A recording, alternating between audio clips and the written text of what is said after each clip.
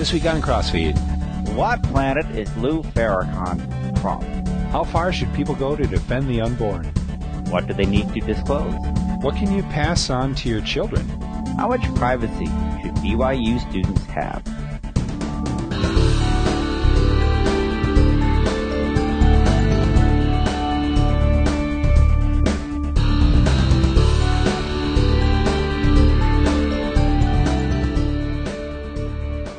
Hello, everyone. Welcome to Crossfeed Religion News. I'm Pastor Dale Critchley, pastor of Shepherd of the Ridge Lutheran Church in North Ridgeville, Ohio. I'm Pastor Jim Butler out here in beautiful St. Luke's Lutheran Church in Dedham, Massachusetts. Welcome, everybody. yes, welcome from the birthplace of America, know, home of Lexington and Concord, where the Pilgrims landed, all those cool things. Good Yeah. to be here tonight. Dale's had an exciting week, so we're happy for him. Ah, it's been great. We, our congregation approved the Transforming Congregations uh, prescriptions today, so we're going to start on that process. You know, and, and uh, you know, it's been an interesting thing because um, the this whole uh, process, uh, it's it's gotten a lot of sort of bad um, publicity uh, in the Missouri Synod. Uh, there's a lot of bloggers and, and stuff talking about it and having some pretty negative things to say about it. I've read a lot of the stuff, and 90% of the problems that people have with it is based on. Sneezing. Sounds like arm. oh, glad I have a mute switch. No, you who are watching are glad I have a mute switch. Wow, just all of a sudden. Um, but uh, based on misinformation. Um, so, and the, the I was I was talking to um, one of our coaches eh, who is on the board, and, and I said, you know, there's when I looked for information online about this process, all I could find is is all these comments against it. And um, I said I can't find really anything in favor of it except for churches that are doing it. And uh, he said, "Yeah, that's sort of deliberate." And I went, "What?" And he said, "Well, here's the thing: we, the the group made a conscious decision uh, from early on to not waste a lot of time responding to criticism because what it comes down to is there's always going to be somebody that doesn't like you, and uh, we could waste a lot of time responding to criticism, or we could just focus on actually doing the job." And um, so consequently, they've just sort of let the um, the rumors fly and don't respond to them. Um, which you know that's that's their decision, but you know I, I just I, I've I've found it interesting since then, just because I found that it's the whole process is very steeped in Lutheran theology. Um, it's it's really a lot of it revolves around the doctrine of vocation. Um, you know, finding people using uh, using people's needs to reach the community. It's it's I mean it's very biblical. It's very much about seeing uh, what uh, what are the needs of my community and how can I meet those needs. Um, but if you think the only thing you need to do is preach the scripture, preach the Bible, and administer the sacraments, and you have a field dreams mentality that you know, you know, if you do that, they will come. Then you know, that's anyway. We're, I don't want to get into it. 'cause it sounds like I'm criticizing people, and they know who they are. Uh, so uh, maybe someone on the same planet as Louis Farrakhan. Yes. Um, now Yeah, you they'll back appreciate my that. last church, we had a Farrakhan mosque just up the road. Really? Okay. Yeah. So, um, uh, I often wanted to go in there, but I didn't really want to be called a white devil. So, you know, uh, and, uh, look, anyhow, so, so the Nation of Islam and, uh, good old Louis Far- Farrakhan are going to get together, uh, out in Chicago. They're going to have, um, a, um, convention, their group's annual Savior's Day.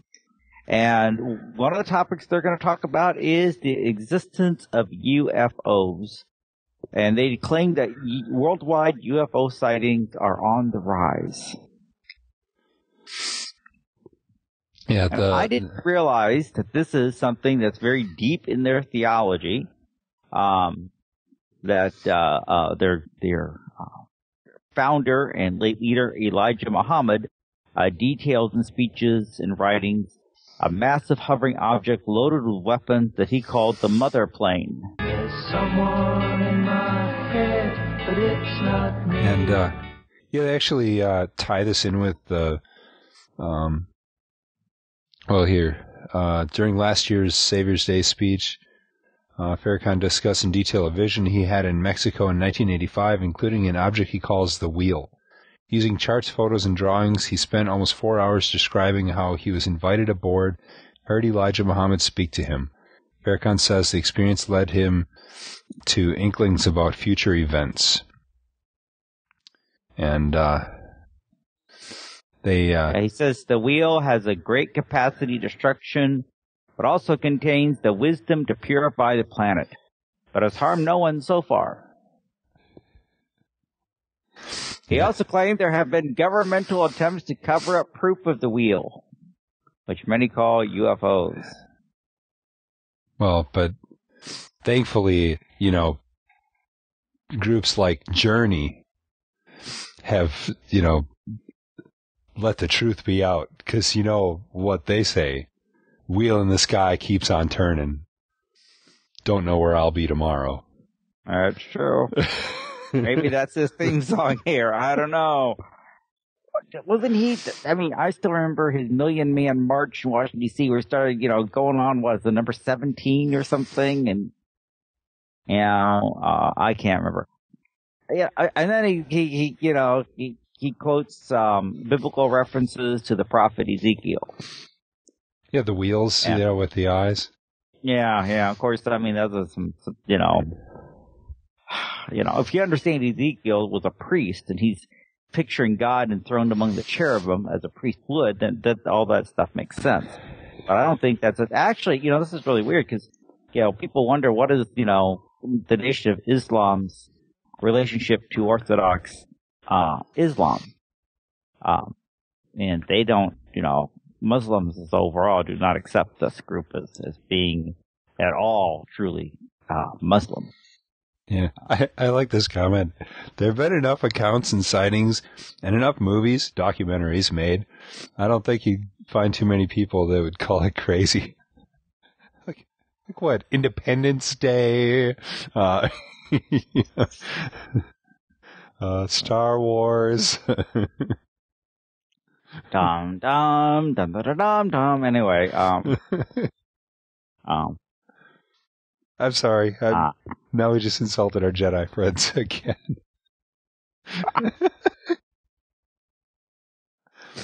Jedi meet Louis. Anyway, um, I I kind of got this this this um. What is this guy? Crazy?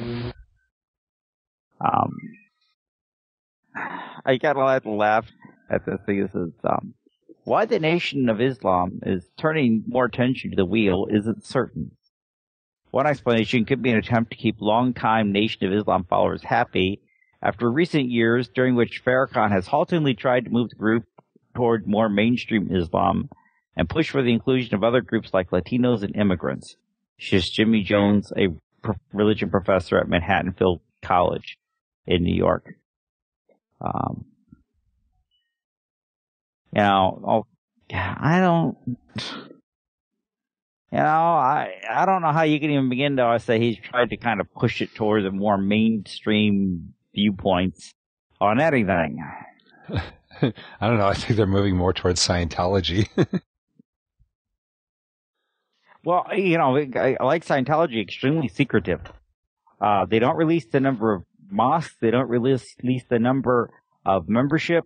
Um, there's a lot of splinter groups and fracturing going on within it it says um, kind of a strange group overall. You know, I, I remember I was down in St. Louis at uh, going to seminary when that Million Man March thing happened, which is really kind of a misnomer because what, like ten thousand people showed up for it or something like that.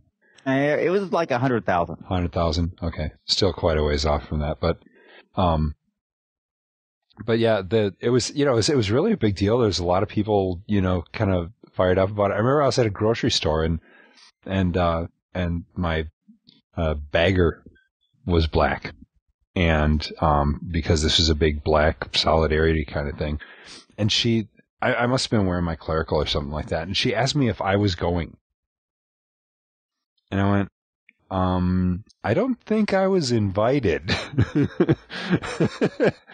oh yeah, anybody can go. I'm like, uh, yeah, but uh, I I don't think I'd be too welcome.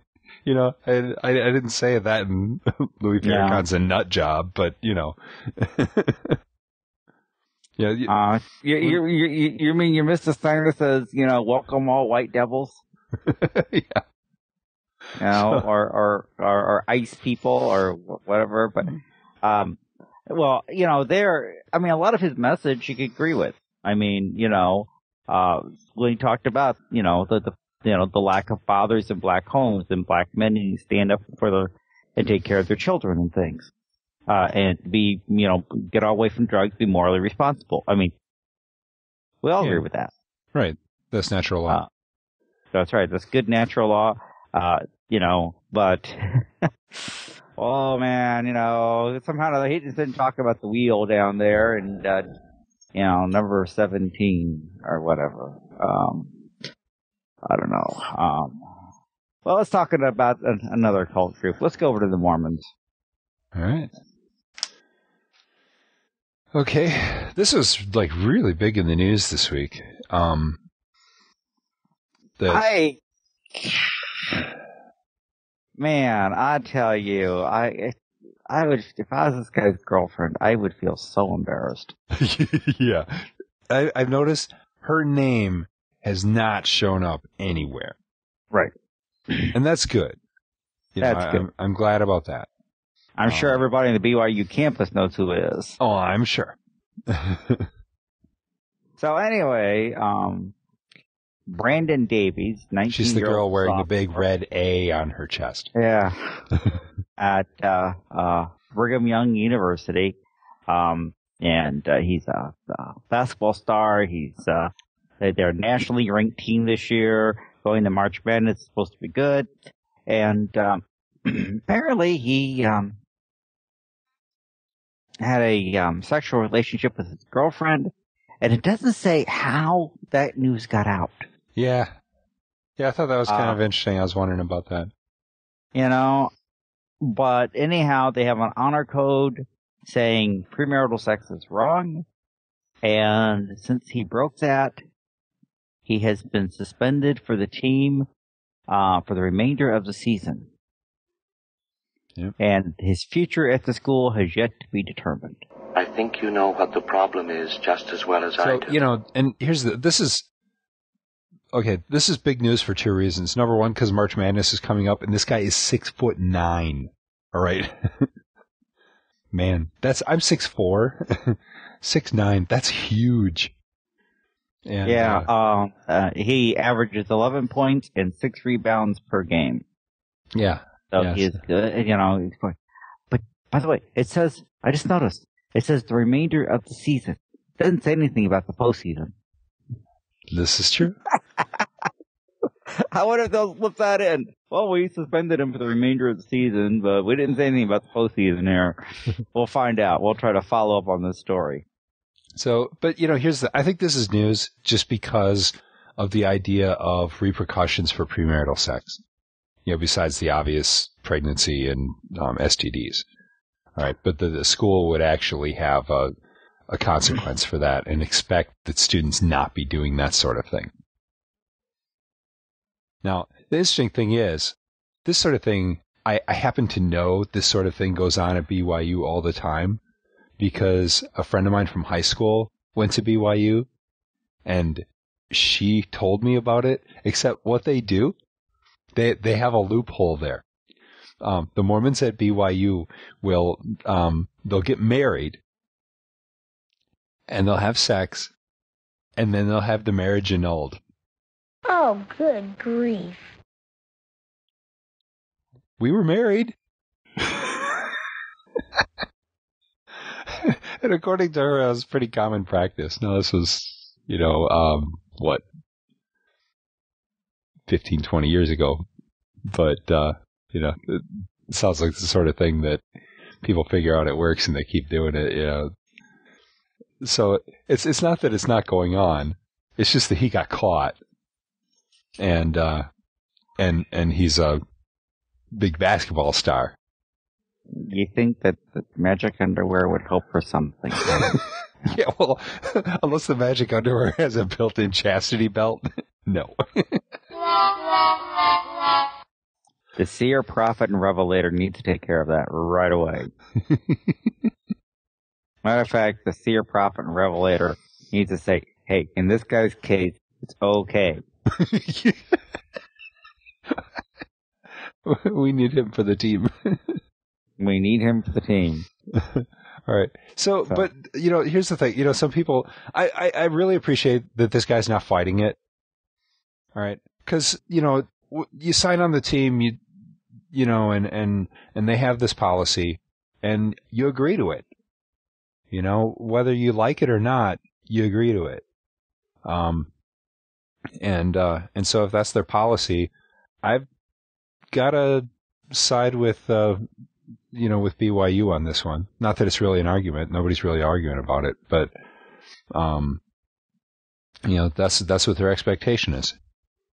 And, uh, you know, and, and so far they haven't kicked him out of school. In a lot of schools, uh, Christian schools and, and, and other religious schools, uh, you, you violate their policy. Usually it's, you get pregnant or your girlfriend gets pregnant. Um, that's how they find out. But a lot of schools they will kick you out. You're you're expelled. Um, if you're found out. Or worse, expelled. So yeah. You know, this guy. Uh, of course, they haven't. There's. It's still under review. I'm kind of curious what they're reviewing. hmm, how bad do we really want that championship next year, his senior year? Hmm. Hmm. hmm. University of Utah would take him in a second. Hmm. yeah, they would. So, mm, uh, so would Notre Dame. Can't have him playing for them Catholics. No, no, can't have him losing to them. I know. So I'm I'm sure they got something figured out there for the guy. I tell you. Um, but it, you know, even the fact I'm being this cynical about it, well, of course I'm cynical about everything, but even the fact I'm being this cynical just says something interesting about what the police of sports in our society. You know, how yeah. much serious trouble do you think they would get from the BYU boosters and alumni association and stuff if the school told him you can't come here anymore? Yeah. No, and, and you know, and that's the big thing is, are they going to continue to stand by this or how far are they going to take this? You know, I mean, because yeah, sports are huge, and you know, you hear all the time about schools that have like no alcohol policies in high schools. You know, and uh, and then somebody has a it gets caught at a beer party or something like that, and and they bend the rules for them, or or maybe their grades aren't um, up to the required amount or whatever, and it's like, well, or and or it's like at the end of the quarter, but the season's done at the end of the quarter, you know, or something like that, where they they sort of say, well, yeah, we have this policy, but you know, it it doesn't actually have any weight just because of the way they've set it up, you know. So, but Maybe yeah, this here prophet and revelator can redefine marriage.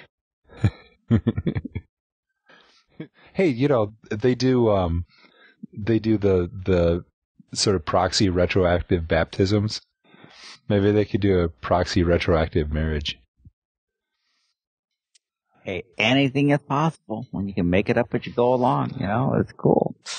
That's true. Um, well, of course, at least this was uh, uh, uh, heterosexual people. Uh, uh, um, time for our uh, weekly gay section here, folks. oh man, you just can't get away from it, you know.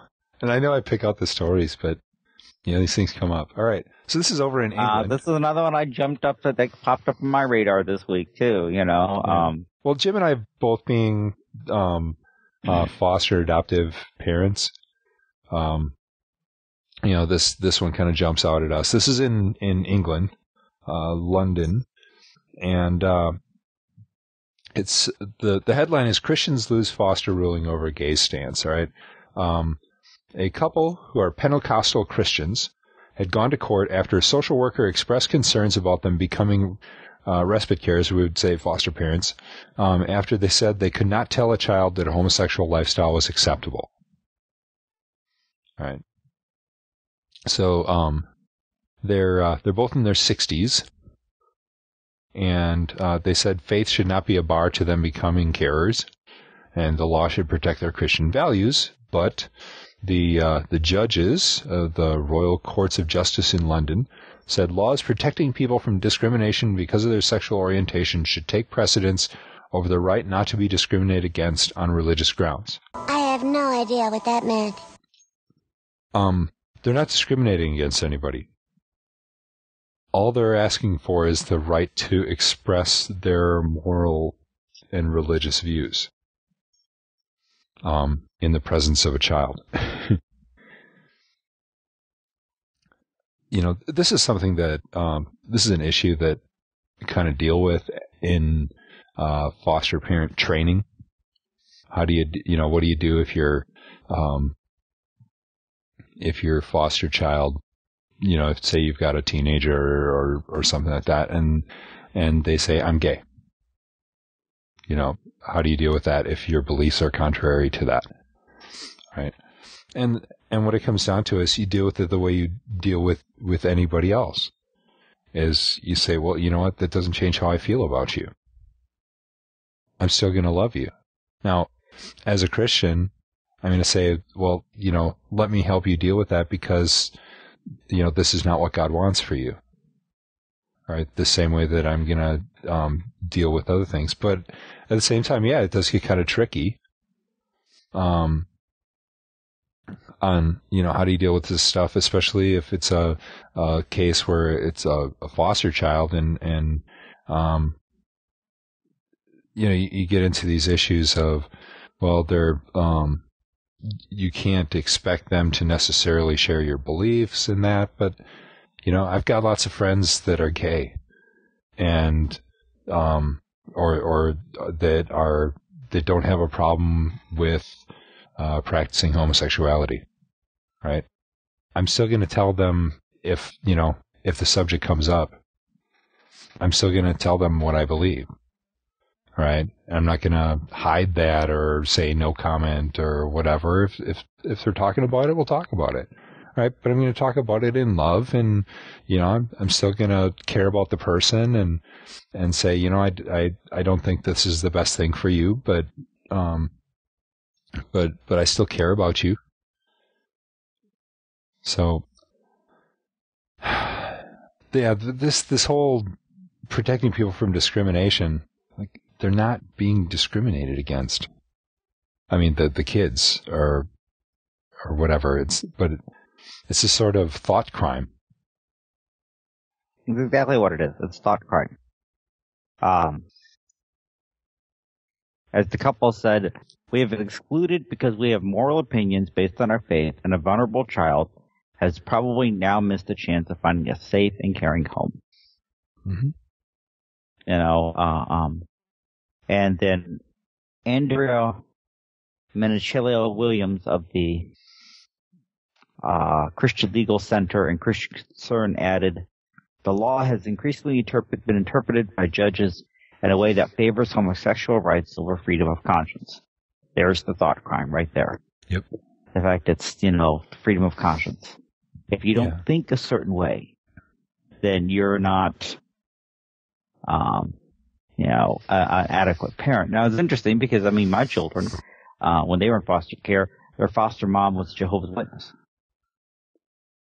You know, what if there was a religious test? Well, okay, you can't be a, uh, uh, uh um, um, a foster parent because you're a Jehovah's Witness, or because you're you're Lutheran, or because you know, or or whatever his stance is, because you think it's wrong for couples to live together, or no, this is this is sort of interesting that you mentioned Jehovah's Witnesses because when we were going through our licensing here, one of the things that they talked about was they expect that you're going to celebrate Christmas with your foster children.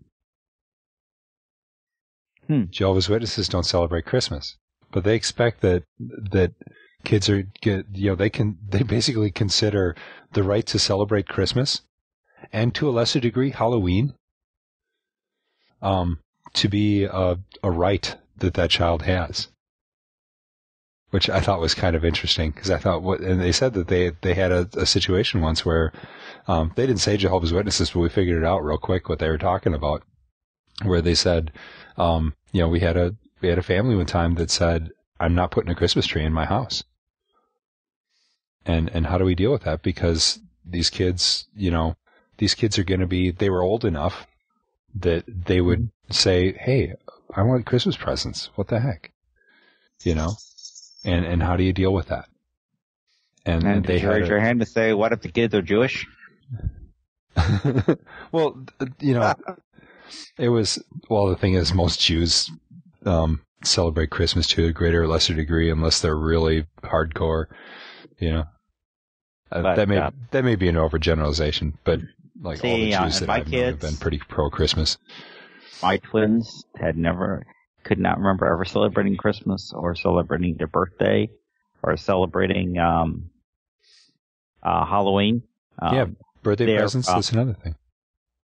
they had a uh, uh and the extra money that they got for Christmas and stuff when they they because foster parents received that they put into an account and distributed you know kind of bought other things for the kids throughout the year but they wouldn't buy spend it on just Christmas and that kind of stuff. Huh. And uh well I was I remember uh, our son uh uh just you know he he just that just dressing up and going out for trick or treating was so cool. He just, you know, never experienced that before and stuff and decided he wanted to wear a costume for Christmas too. He just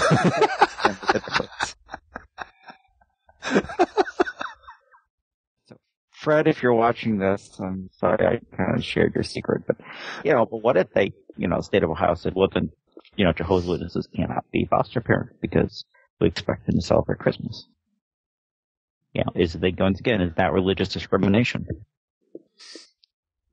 I suppose it would be, unless they could, you know, or how much room does a do the um you know do do do, do you have you know to know what if the kid coming to your foster if your house is an atheist and one of the expectations of your family is the kid goes to church Yeah, and you know, and we've talked about that. And um, you know, say we got a a, a kid who, um, for instance, was uh was uh, Jewish. All right. So, um, so then what do we? And they they don't want their kid going to church, and uh, and they want him going to synagogue. Okay. Well, in that case, uh, we would have to arrange for somebody from the synagogue to come and pick them up, or or we could take them and and you know find somebody to to take care of them while they're there or whatever, um, and uh, and have to find somebody to watch them while we're at church. You know, and, and we've talked about that. That well, we'd have to work something like that out, but it'd be pretty difficult. So, you know, it would definitely, in our case, it it, it, would, it would have to be something where we'd have to, um, if at all possible, it, it would definitely be better for us if we were able to bring them to church. You know, and most cases it's not an issue. Um, you know, but uh, because the parents don't really care. But uh, and, and in fact, most parents probably figure, well, it's probably good for them, you know. But at the same time, yeah, you get these situations with some of these fringe groups, um, and and nowadays this you know belief about homosexuality, uh, biblical belief is becoming more and more considered fringe, even though it's a mainstream, you know, standard Christian biblical belief. Um, what it comes down to is they should still be allowed to express their beliefs. Okay. Um, but like taking, using the example of Jehovah's Witnesses, if you say, well, I'm not going to have, you know, Christmas in my house or whatever, then, uh, you let the, the, uh, social worker or somebody like that take them to a Christmas party somewhere or something like that. So that even if they can't celebrate it with their foster family in their foster home, they still get to have that celebration, that experience. Right. So that at that point, the family's not, you know, endorsing a, a practice that they don't believe in. At the same time, um, they're allowing that child to practice a, um, you know, you could say a cultural, um, belief or a, you know, it's, it's part of our sort of American, um, cultural religion in a sense. So it's a, you know, it's a compromise. But that, you know, I can understand, uh, um, Jehovah's Witness not wanting to have, um, you know, a Christmas tree in their house or to give Christmas presents or, or to have birthday parties and things like that. At the same time, um, you know, for most of us, that's a pretty big deal. And, uh, you know, so we would consider that, boy, that's really being mean. I mean, when we had long-term foster kids in our house and we were close enough to family, um, I mean, our, my parents, my wife's parents, or, you know, brothers and sisters, they all came to our house and brought, you know, birthday presents and stuff for our foster kids and that. We had a full blown birthday party, made them a cake and, you know, the whole thing. Um, and uh, no, it was convenient in our case that it the birthdays corresponded with some of our birth kids, so we can kind of put the things together. But it was it was understood that this is a party for both of them. It's not sort of well, it's it's this one's party, and we're also it's the other one sort of too.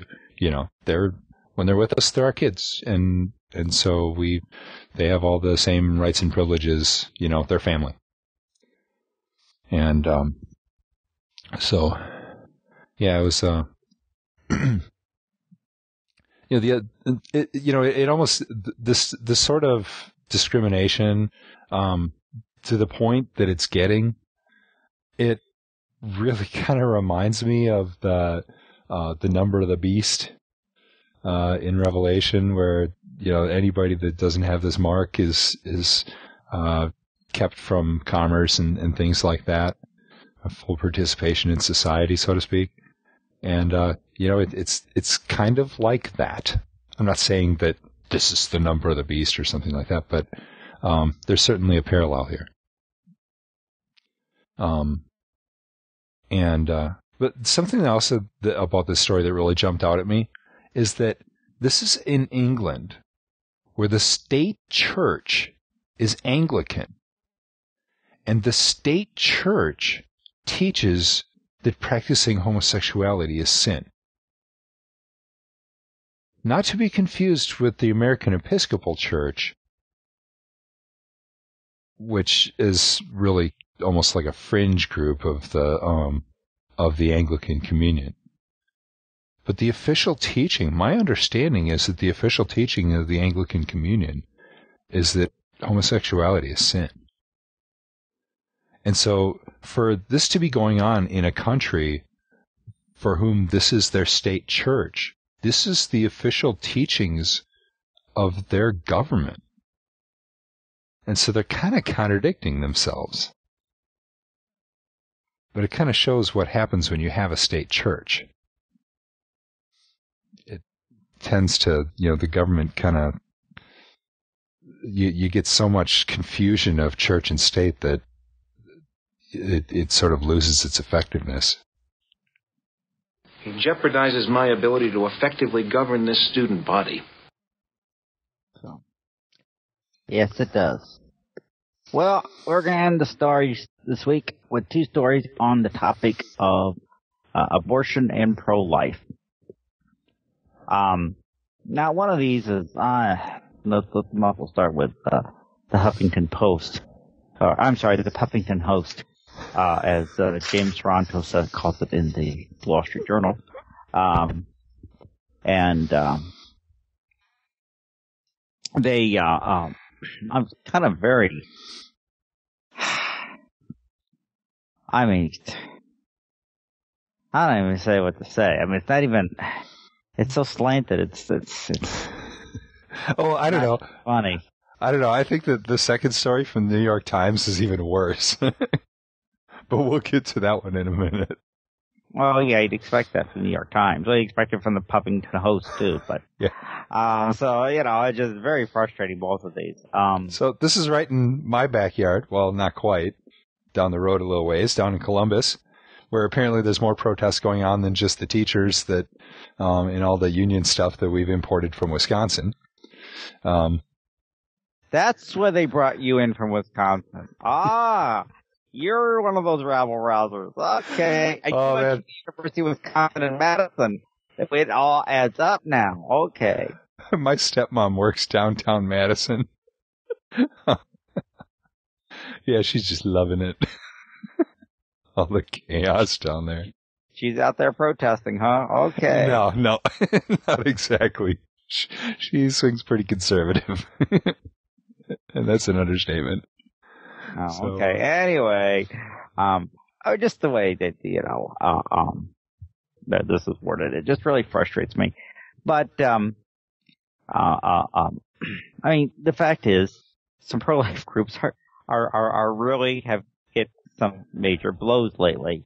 Uh, beginning with uh, Lila Rose and uh, her, uh, I can't remember the name of the organization she works for offhand, Life TV or something like that and her stings of uh, abortion clinics. Um, and uh, uh, the uh, uh, and then um, there was a billboard up in New York City which declared, um, which said, you know, something about I can't. The most dangerous place for an African American is in the womb. right? Because forty percent of uh, African American children are aborted in New York City, and Right. uh, so it's Yeah, the know, article says that uh, many blacks complain the billboards are offensive and perpetuated stereotypes. Planned Parenthood called it a condescending effort to stigmatize and shame African American women. No, that wasn't it at all. It was it's to show simply a fact. It was the point of those billboards was to show that Planned Parenthood, I mean, the founders of Planned Parenthood were racist and they deliberately set up their clinics in black neighborhoods to try to abort as many black babies as possible. That's a fact. That's right.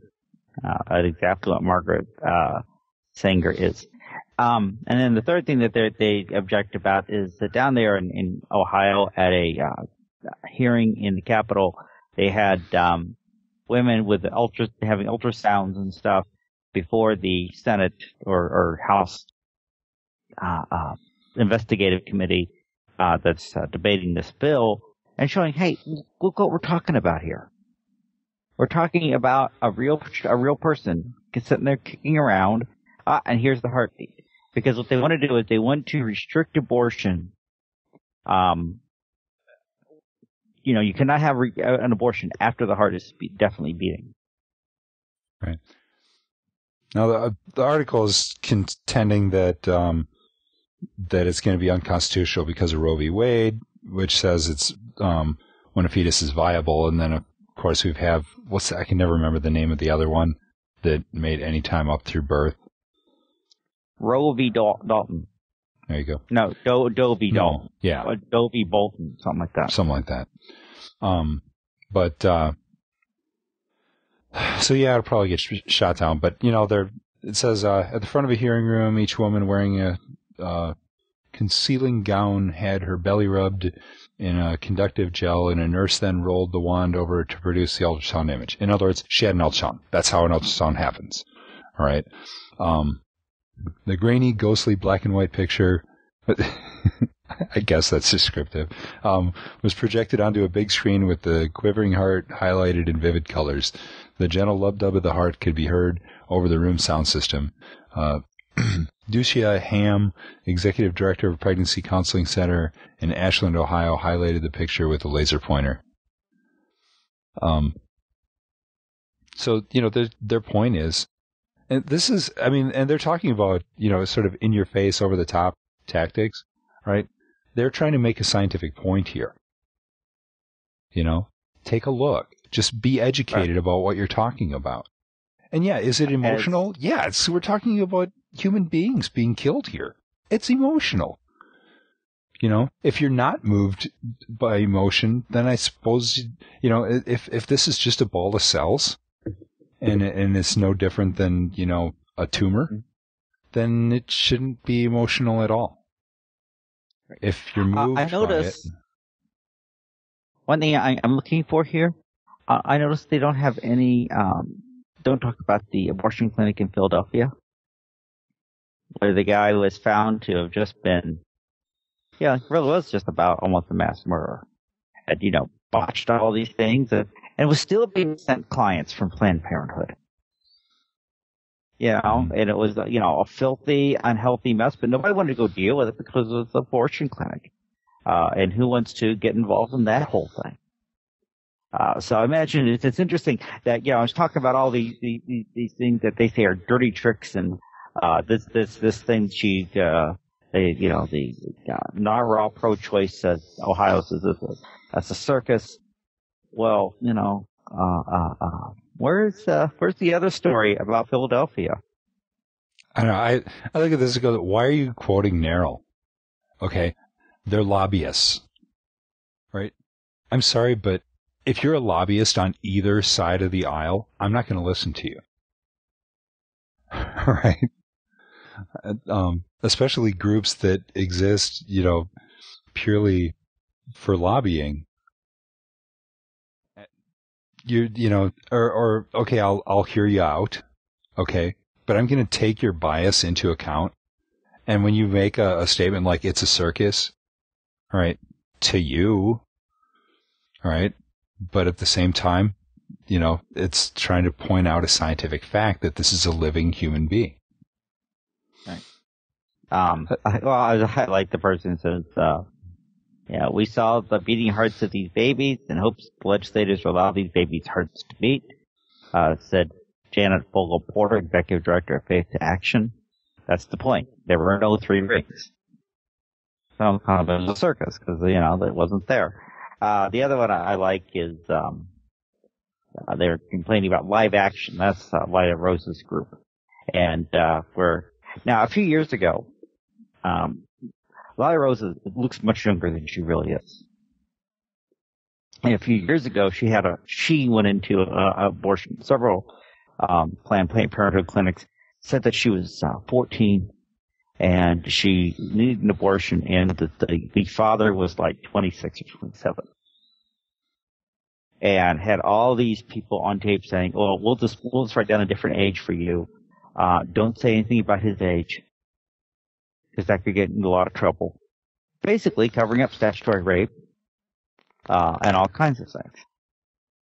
And well, now she's gone in again. And anyway, so now following the uh, two who hit the um, uh, Acorn groups last year, um, she and a friend of hers dressed as a pimp and a prostitute, and said they are setting up a brothel and they are going to bring in underage girls from El Salvador and things. I mean, and, and once again, they, you know, got people on tape in several clinics telling them how to cover up the, uh, the age, uh, how to get them social security numbers, how, how to do all this stuff that need, you know, you would need to do, all of which would be highly illegal. Um, and, um, you know, and, uh, I, I actually love this because, uh, you know, once again, these are dirty tricks, you know, to do something like this. So that's an expose. Well, yeah, I mean, you know, if you, if, you know, if you, if what you just, just show that was, well, this, you know, that they don't really do this. No, actually, it says that they fired one of the, uh, clinic directors. Right. You know, that's kind of an admission of guilt right there. Yeah. That's a sting, people. All right. and Uh, you could call it a dirty trick, but it's a sting. All right. Yeah. You're busted. And I like this. It says, and they complained to the FBI. Um, author and the FBI said what? Yeah. Yeah. Exactly. You know, I can call the FBI and complain. It doesn't mean that my complaints have any merit. right. I mean, you know, um, obviously they didn't. Um, yeah, and that, that, see, that's actually one of their, their things that they said, well, you know, when this when this happened, we we called the FBI right away, and they found out. Well, no, it hadn't. Um, you know, they didn't do it for some time. So I, I thought that was an interesting quote. It says, uh, "I think the pro-life movement has probably had the upper hand in the last several decades in the production and dissemination of these images. I'm not sure I can say why." Uh, this is from Ziad Munson, associate professor of sociology at Lehigh University. Uh, she said, I would assume many in the pro-choice movement would agree with me. They haven't been as successful in marshaling these images to their advantage for whatever reason. Reason, right? Because these images of human beings in the womb are pretty hard to argue with, right? How can you show a human being with a beating heart and say, see? you know, like, right? This is evidence they're trying to work against but the evidence is still there and the evidence is undeniable and it's pretty hard to refute obvious truth. Right? right. That's why whenever you hear arguments, it's all about the woman's rights, the woman's rights. All right. They've any anybody with any scientific knowledge at all. All right. I mean, and I'm talking like a third grade, maybe fifth grade, um, scientific level of knowledge if you say, is that, um, whatever you see there, is that alive? All right. Well, let's see. What are the, um, you know, what are, what, what's the basis by which we call something alive? Right. Able to reproduce. Yeah. It's reproducing cells. All right. Um, and, and you don't have to be, you know, that's what able to reproduce refers to, not necessarily fertile. Obviously, somebody who's infertile is still alive. Okay, um, able to grow, um, able to uh, movement. Um, you know, these these sort of basic. Uh, I can't think of the other things, but yeah, the, the, these sort of very basic uh, concepts of of what it means to be alive, taking in nutrients and, and things like that. Um, this is that's alive. Okay. You can argue about whether that's a person with, with civil rights. Okay. And that's sort of where the, the argument has gone because the whole argument about whether that fetus is alive or not. Um, yeah, the science textbooks, as soon as they start defining life, sort of refute the argument.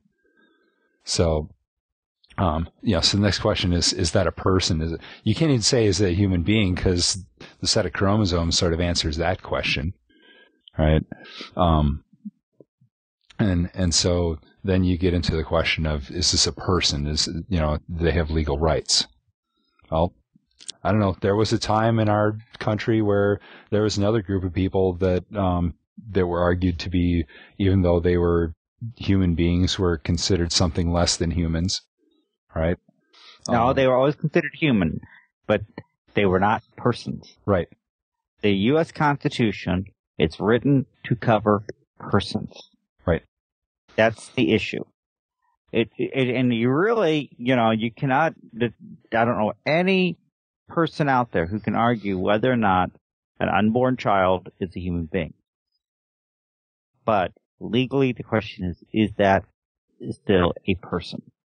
you know, you get uh, Pete Singer down at um, Princeton who wants to say that you're not really a person until you're two years old. Mm-hmm. One or two. I mean, you know, and, it, you know, why? Well, there may be something wrong with you. And so, you know, and the reality is by devaluing life before birth, the fact is there's going to be a devaluing of life on the other end. Mm-hmm. Um, and it's going, you know, and these people who, you know, are, are you think you're pro-choice now? Just wait till your kids get to choose. You know, and uh, say, well, yeah, you know what? It's too much trouble. We're just gonna, we're just gonna get rid of it. You know, just, just, you know, already over in Denmark, uh, you know, in the Netherlands, a lot of elderly people don't want to go to the hospital because they're afraid they won't come home. Yep. And it's not yep. that they're afraid of being going to a nursing home. No. Um, yeah. Yeah. I no, mean, it's scary. And I, you know, for that matter, all right, I've mentioned this before on the show. I'll mention it again. back when our president um, was uh, Illinois senator, he uh, um, was in favor of um, I always forget the term, but uh, basically post-birth abortions, children that survived abortions, and that they would just uh, put the this born baby in a closet somewhere to die. He was in favor of that. He voted in favor of that. He spoke in favor of that. It's not just that it was something on a on a bill that was sort of hidden on page 137 of the bill or something like that. That was the meat of the bill, and he was in favor of it. He got voted down. All right. Notice that was not one of his platforms when he ran for president. All right. But it's reality. David knows babies and the soft spots on their head. Did you watch the Onion News Network the other night? I, I I'm subscribed to the podcast, but I'm way behind watching it. Why? Um, they announced the news that they found President Obama. He'd been kidnapped by an imposter within hours of being inaugurated, and answered the question how this inspiring person could become this mealy mouthed middle pushover that they've seen for the past two years. And President Obama was really upset because he said, how can anybody think that person was actually me? That's kind of funny. Understand though, folks, if you've never seen The Onion, they're an equal opportunity insulter. Yep, yep. They go after everybody. You know, it was, but it really was very funny to watch. Okay, so maybe, maybe, you know, maybe you're an Onion fan like I am, you know. Wait, hold on. Uh, we didn't do the, the pregnancy Uh, you know, center. but I'll throw it in now. You, you can write to us at podcast at crossfeednews.com. Yep. Okay, so now we go to The Onion the- started at the University of Wisconsin, by the way. That was the only campus paper I ever read. okay, let's go to New York. All right. So this is wow. It, I'm sorry, but like, if you ever want to, if you ever want to argue against a um a uh that the the media is leans to the left, at least the New York Times. If you ever want to say that the that the New York Times is fair and balanced, you've got to read this article. right. So um, the city council favors pregnancy center disclosures.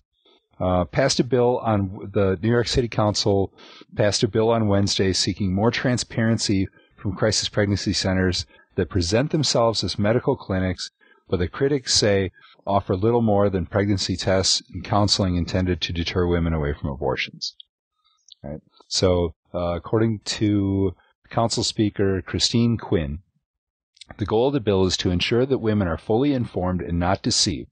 Women need to know they have a right to know whether they are consulting with a licensed medical provider.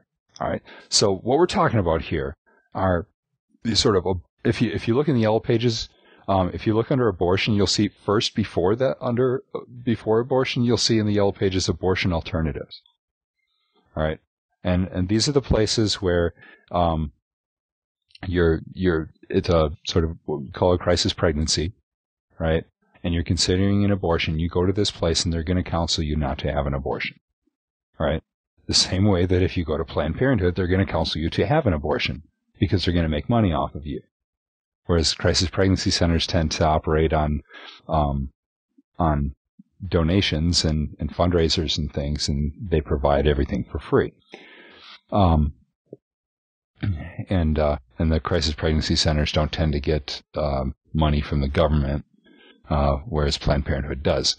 Um, never really understood that because then they just feed the money right back into the government through lobbyists. But anyway, sorry. Um,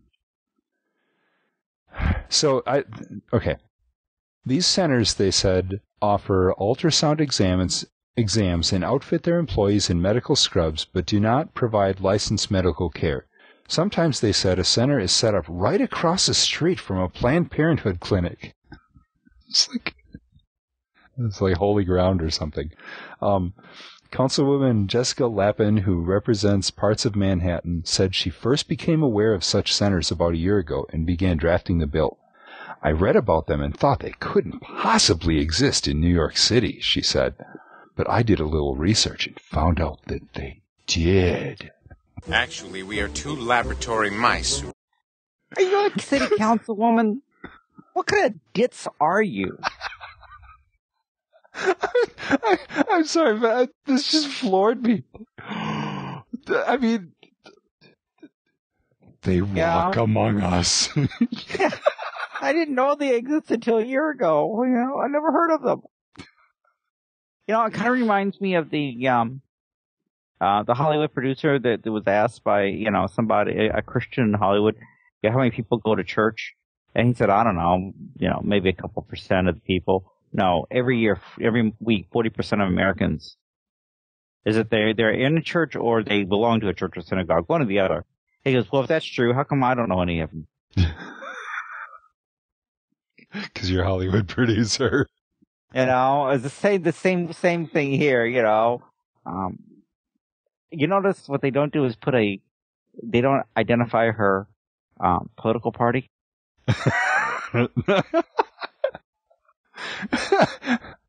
yeah. Oh, I've. I've it's yeah. It's it's def- it's not clear from the article. You know. yeah, but anyway, um, Sorry about this. I know it's a bit silly. I, they Yeah. must have come off of Fair Guns UFOs Yeah, and then- or something. then, uh, our buddies there at NARAL Pro-Choice New York released a report saying it found crisis pregnancy centers in the city using deceptive tactics and false claims to dissuade women from having abortions. Um, what? No video? You know, I mean, you know, Well, no, actually, they use ultrasounds and say that's your baby. yeah, you know, Oh, that's Um, deceptive. They show that that this baby has a beating heart. Sometimes it, it's to the point where there's little hands and feet. Actually, I mean, some of you know, many of them, I, you know, the, at least uh, in Rockford and in Springfield, the two that I, you know, associate with, uh, they did have, you know, um, licensed nurses, you know, staffing it uh, on a volunteer basis. And if you know you wanted to go through with the pregnancy, they would help you find a licensed doctor. I mean, they're not doing anything really medical. Right. Yeah. You know, they're They're offering counseling. And you know, it. and support. Yeah. You know, but here's the thing. We talked about this. Um, I, I, I kind of preached not on this, but um, when we had our uh, Sanctity of Human Life Sunday, uh, was it last month? Um, a couple months ago. I guess it was January. Um, but uh, I, I read a, a story uh, from someone who had had an abortion, and she talked about how uh, in fact, it was somebody who had had an, uh, one child she had had aborted and another child she had given up for adoption. And she talked about the difference that with abortion, it's all, I mean, she has just tremendous amount of guilt because of it.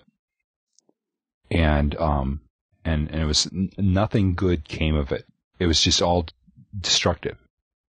Whereas with the child that she gave up for adoption, you know, here she gave this family a child that they desperately wanted to have. Um, she gave this child a home. The child is happy. Nowadays they have open adoptions so that you can, you know, stay in touch to a greater or lesser degree, you know, get pictures. Um, usually if, you know, at the very least, um, you can get, you know, annual pictures of the child or, or something like that, you know, so that you can at least have, know how the child is doing and stuff. And, you know, in, in some cases you could, I mean, in some cases the, the mother is just sort of a friend of the family and, and the child can, will even grow up knowing that, yeah, that's my birth mom, but, um, but she couldn't take care of me. And, and so this is my, um, you know, they say real mom or, or, you know, whatever. And, um, and, you know, there's just, there's no reason to, to have an abortion um, you know, except in very extreme medical situations. And, you know, what these groups do is they provide the counseling and, and whatever services that these women need to help them through their pregnancy, to turn what is a very difficult, negative uh, situation into something very positive. Something that instead of regretting and, and, and, and sort of saying what if for the rest of their lives, they can walk away from it, you know, when, when all is said and done, it can become a very positive thing in their life that they can feel very good about. Right? That's what these groups do. And yeah, boy, can you believe there's these sort of things in New York City? Good. Yeah, it'd be interesting. Opponents say that Ms. Lappin's legislation violates free speech rights and that it's similar to a Baltimore measure that was recently struck down by a federal judge. Uh, so we will find out because as, you know, the, uh, one of the city councilmen who voted against it said, when you target speech, it's inherently you know, unconstitutional. Yeah. What they're talking about here is that, like, when someone comes in for their services, like, they have to, like, read them some sort of prepared statement or something like that, you know, that sort of comes across, you know, you, you got this woman in crisis and you say, all right, I want to help you, but first, legal, I, I have to read you this ridiculous statement, you know, and, and it just gets in the way of, of trying to help somebody. You know, it's bad enough that they have to, you know, sign some sort of disclaimers and, and things like that. But, um,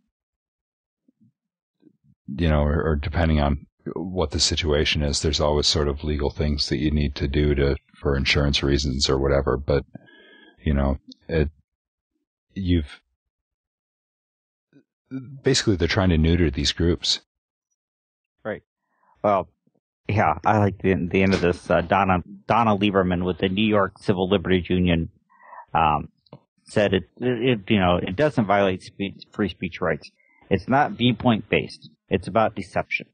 Unlicensed ideologues have the right to be ideologues to espouse their beliefs, but they don't have to, the right to dress up as doctors and masquerade as healthcare providers and deceive women into thinking they've been to a doctor when they have not. Now, I've, you know, I don't know anybody. See, okay, show the video. We've got video showing, uh, uh, uh Lila Rose has video showing, uh, of abortion providers you know, giving advice, taking care of underage girls and lying about it. So why don't you guys have video of these people uh, saying that they're doctors? Mm-hmm. Yeah, just because someone yeah. puts on scrubs because they're, you know, want to be clean when they're um, helping women, you know, doing the ultrasounds and things like that and want to keep a clean environment, which is probably a whole lot cleaner than a lot of abortion clinics. Like the um, one in Philadelphia? Yeah. All right. so, so, you know, they're just wanting to be, be clean and protect them. I, you know, from my experience with these groups, they, they're not pretending to be something they're not.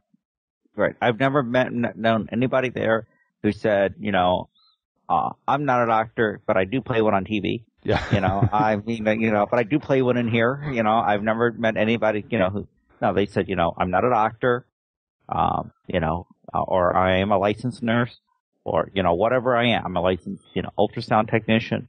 You know, but they've never, I've never had them, you know, de- you know, deliberately lie and she, you know, about who they are. Right. Um, so, if, I mean, if if someone actually is being deceptive, if they're lying about it, I mean, for one, yeah, wrong. yeah, that's wrong. Okay, and that's already illegal. Right. Okay, you don't need a new law on that one. You right. just need to. If you've got evidence that they have deliberately misrepresented themselves, which is called practicing medicine without a license, uh-huh. then, then send send you know send them out. But no, this this is going to go nowhere because it is stuff. But um, anyway, again, your comments, your thoughts, you can send them to us at crossfeed at uh, yeah podcast at crossfeednews.com if you, I was just thinking about, you know, finding a Wi-Fi spot, uh, you know, across the street from a Planned Parenthood um, facility and podcasting from there. Would you know? If I get uh, sort of bad juju or something. Holy ground! Bad, bad juju. Lots of bad juju. So, hey, God watch over you all. Take care of you. Have a wonderful week in His grace. Yep. Oh, Uh, gotta do- we will see you shout out. next week. Oh, Hold on. Yep. Shout out. I got this cool bracelet on. Um, friend Jason, who's a member of our church and is on leave right now from Kuwait. Uh, was in church today. I was really happy to see him. Um, he's he's one of our viewers, and uh, so imagine um, Jason. Hope that you had a chance. He's probably watching this way later than we recorded it because the internet over in Kuwait really stinks, and um, so he hasn't been able. A lot of things to- in Kuwait really stink. well, but uh, you know, he hasn't been able to um, to watch in that because of the the internet's so bad over there. So I hope that you've been able to load up your iPod, you know, with with these um, episodes and give you something to do over there. So, um, so big shout out and a big thanks um, to you and to everybody else uh, that's serving our country in the military. So, so that's all I've got. So, good night, everybody. God bless.